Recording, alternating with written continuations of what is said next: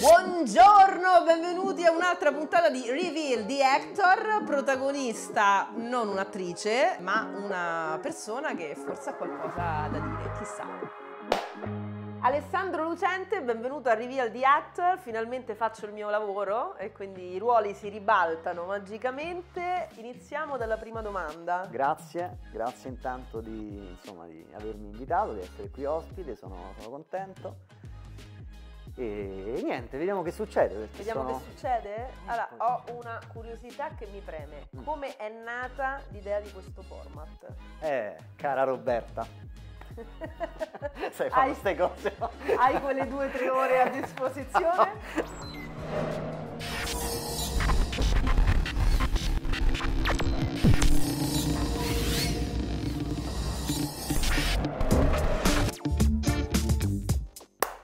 Benvenuti ragazzi, eccoci qui al sesto episodio di Reveal di Hector The Show.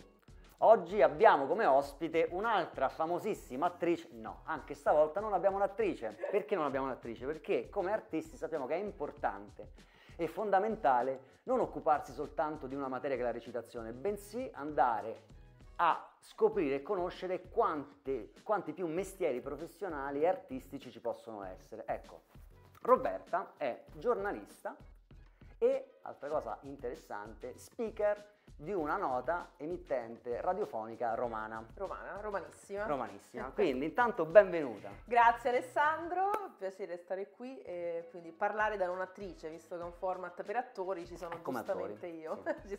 Probabilmente adesso mentre parlerà la andrete anche a riconoscere la voce perché la sentite la mattina dalle 6 alle 9. sì, giusto? su Dimensione Suono Roma. Partiamo un pochino dagli esordi allora. Sì, Giornalista e speaker radiofonica. mhm. Intanto, quali delle due vocazioni tu senti più tua? Allora, devo dire entrambe, perché poi io sono un po' vulcanica come persona, quindi una cosa sola non mi bastava. E allora, se magari inizierò anche a fare l'attrice, chissà. Vediamo, vediamo. No, diciamo che il giornalismo è sempre stata mm, la mia insomma, vocazione eh, perché ho sempre amato scrivere, sembra banale, però parte da quello poi il, il sogno del- del giornalismo. Ho sempre amato scrivere, quindi l'ora di- del tema era la mia preferita sicuramente a scuola e, e anche la curiosità eh, che ho sempre avuto no? Eh, mi ha portato poi mh, verso i 15-16 anni a dire ma perché no, ma magari provo a fare la giornalista con tutte le difficoltà del caso, perché poi comunque eh, tutti mi dicevano "Ah, non è semplice fare la giornalista, ma ti pare, ma è un ambiente difficile. Io poi vengo da una famiglia dove lavorano quasi tutti in banca, quindi proprio la famiglia del posto fisso, per cui a casa far passare... Questo come attori, come attrici, penso che spesso e volentieri abbiamo sentito più e più volte insomma frasi del genere, no? Sì, sì, sì, beh, Quindi- diciamo che far passare il messaggio, non, non faccio il colloquio in banca, ma provo a fare la giornalista, inizialmente era visto un po' con scetticismo a casa mia, però poi devo dire la verità, mi hanno sempre appoggiato, quindi alla fine un po' perché mi sono lanciata, un po' per cose che si sono incastrate nel modo giusto, sono riuscita a farlo veramente. Come ufficio stampa inizialmente. Inizialmente giusto? sì, i primi passi li ho mossi negli uffici stampa. Ecco, io so che come attore un'altra cosa importante è l'ufficio stampa, sicuramente. Perché è importante l'ufficio, l'ufficio stampa per un attore, per un'attrice? Beh, sicuramente la, la- la promozione e la presentazione di un artista può fare la differenza a volte.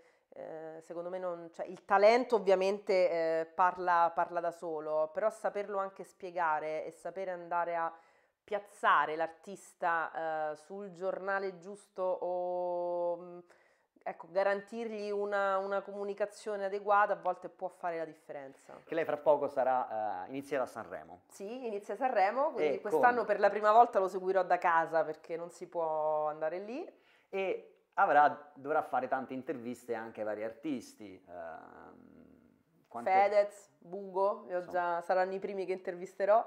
E, E lì c'è il contatto con l'ufficio stampa, giusto? Sì, sì, sì, sì, è l'ufficio Esatto. stampa. Quindi quando ti arrivano questi artisti comunque, eh, tralasciando che ovviamente è duopo, siete obbligati, dovete fare queste interviste perché è giusto, no? Però qual è eh, la, cartella, la cartella stampa che a te come giornalista ti, ti permette di eh, dire, capire, dare un, un valore aggiuntivo all'artista, com'è che è strutturata?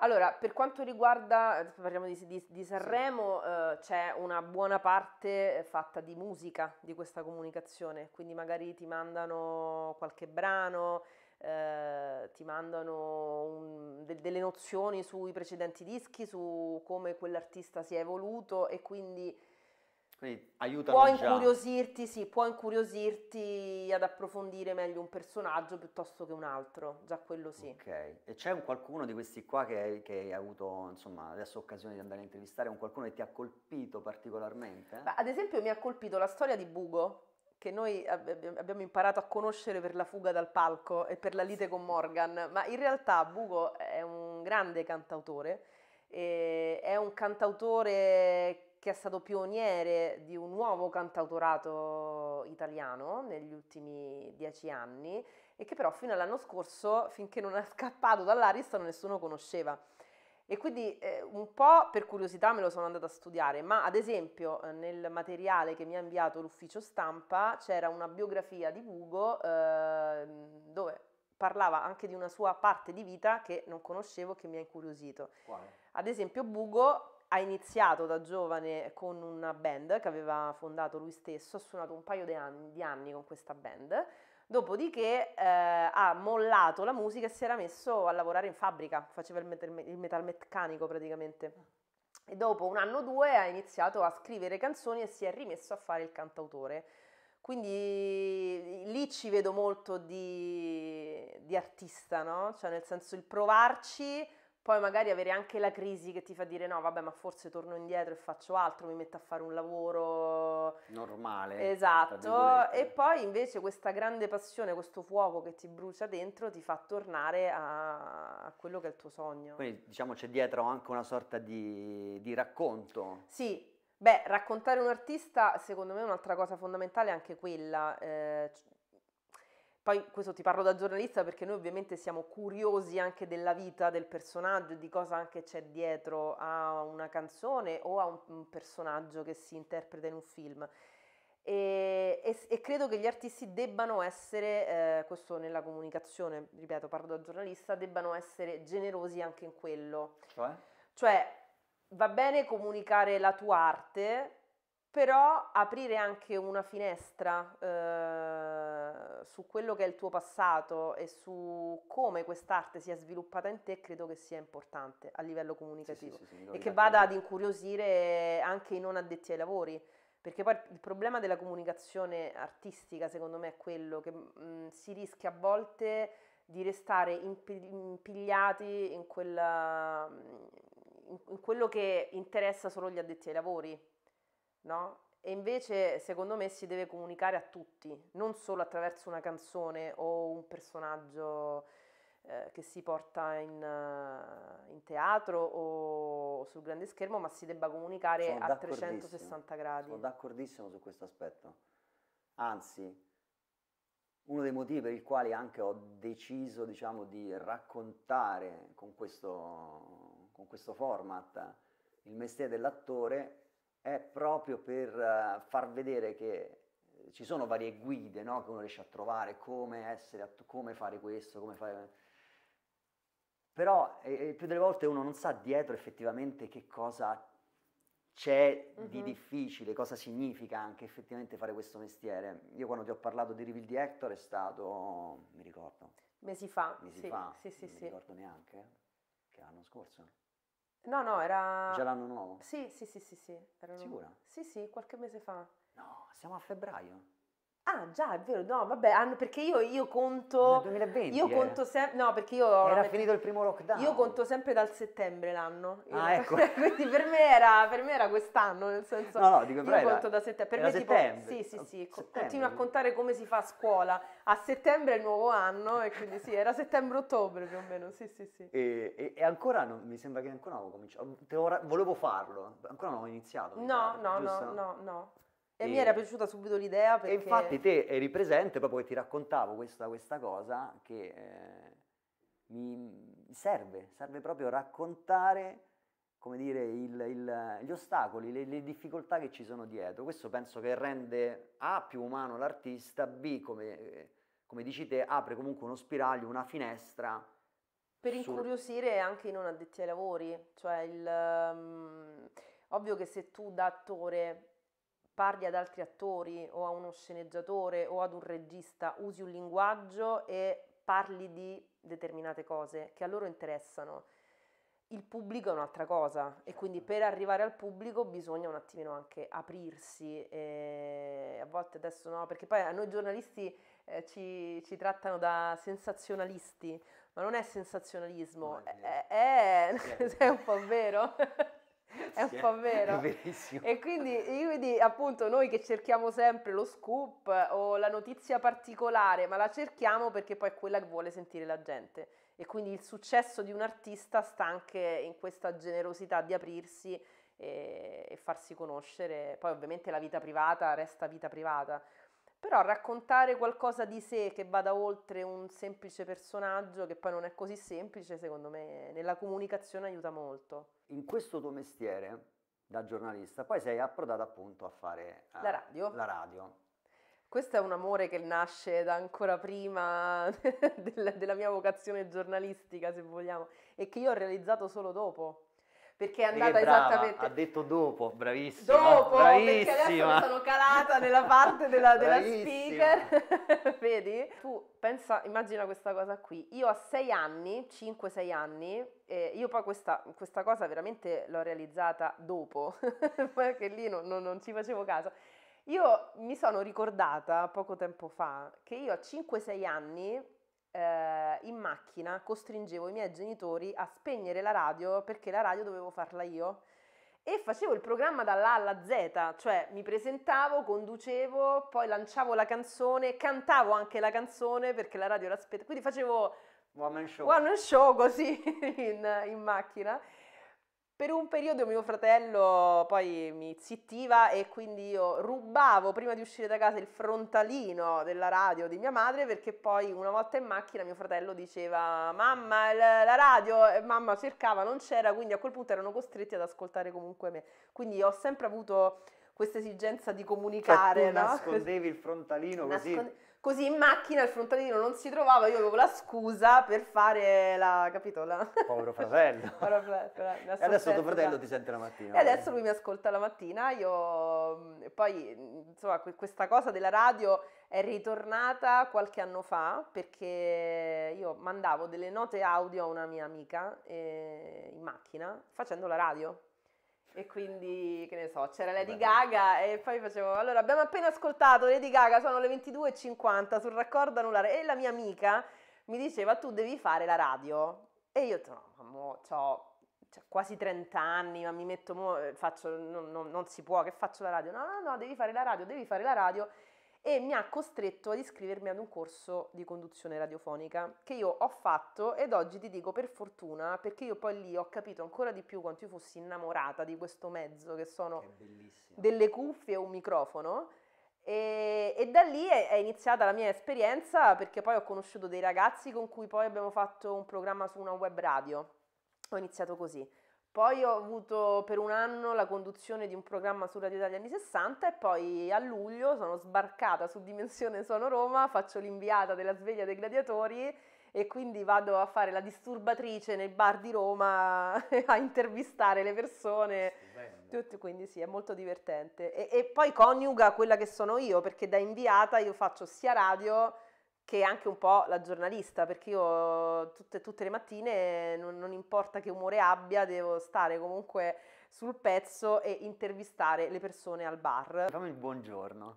Il mio buongiorno, il mio buongiorno è così, è buongiorno gladiatori!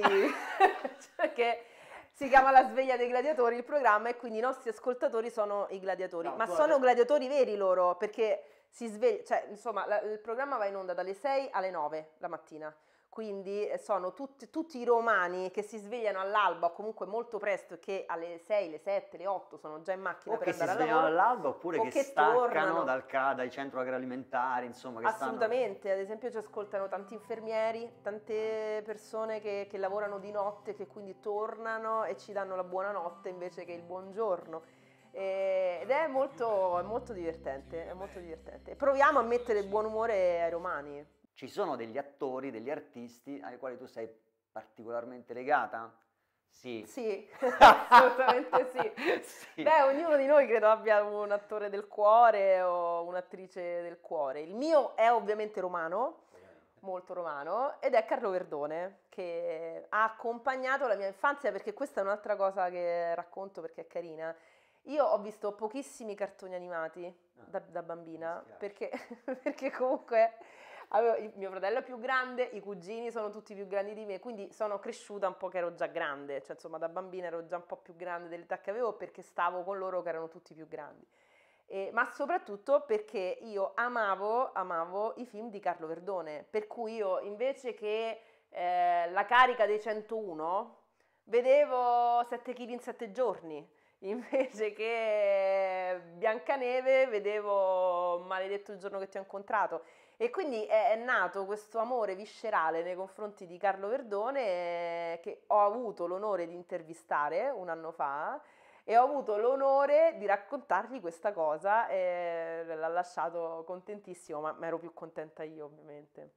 Era la realizzazione di un sogno. Quando tu da giornalista intervisti quello che è il tuo mito, è veramente la, la realizzazione di, bello, eh. di un sogno. Cos'è che ti piace scrivere di, queste- di questi personaggi alla fine? Beh, ovviamente mh, qui parliamo di, di- di- di- prove cinematografiche, quindi sicuramente come hanno, come sono riusciti a interpretare un personaggio e a, a fartelo restare attaccato, no? Perché poi secondo me la, la cosa più bella di un attore è quella, cioè non solo raccontare il personaggio, ma fartelo attaccare un po' addosso, e tu quando hai finito di vedere quel film non solo pensi a quella storia, ma ti senti un po' vicino a quel personaggio lì. A me con i grandi attori e con i, i grandi insomma, personaggi dei, dei film che mi sono più piaciuti mi è capitato sempre questo. Se tu potessi tornare indietro,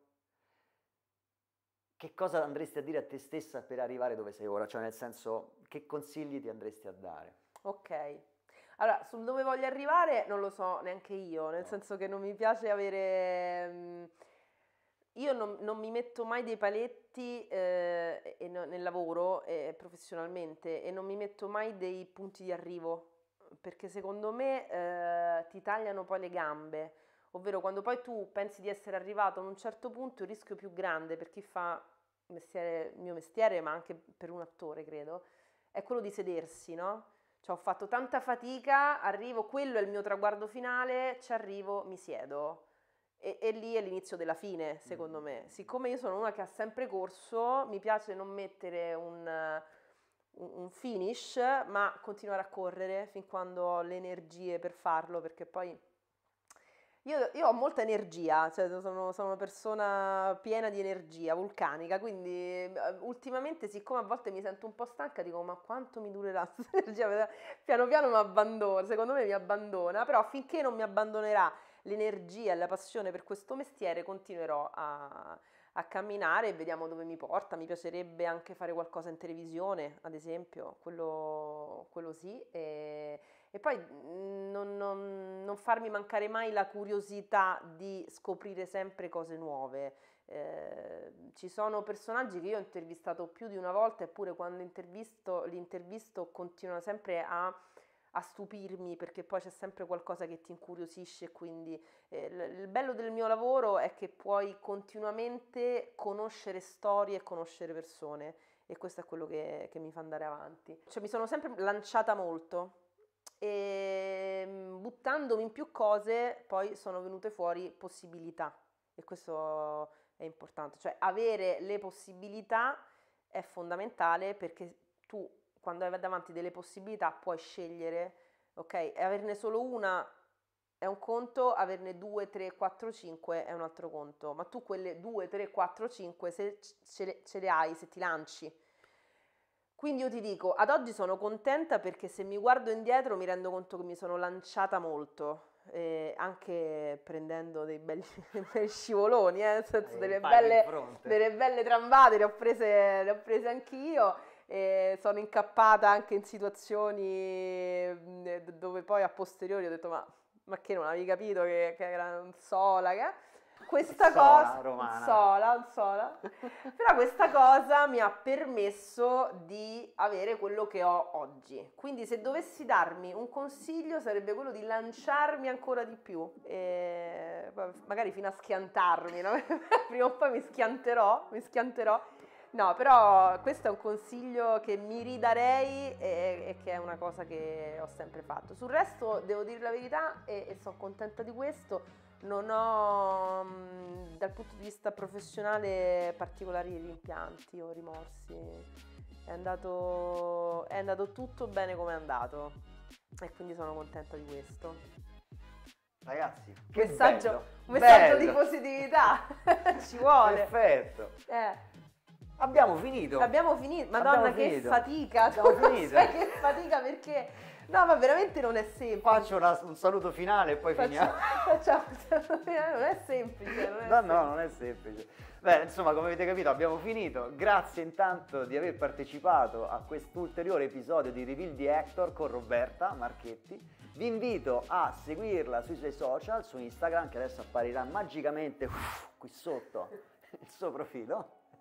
E seguiteci, mettete ovviamente like, ring the bell e condividete questo episodio. Ragazzi, grazie. Grazie a te Alessandro, in bocca al lupo a tutti. E tanta sì. merda. merda. Ciao ciao. Ciao.